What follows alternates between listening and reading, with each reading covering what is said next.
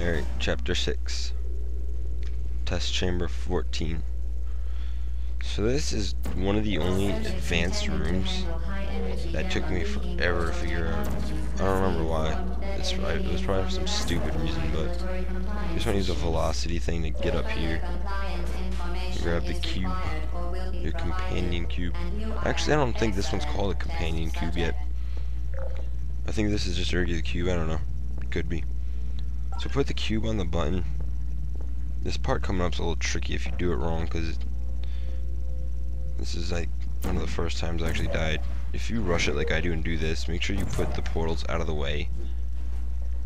You want to put a portal there so that the thing goes through it. Energy ball.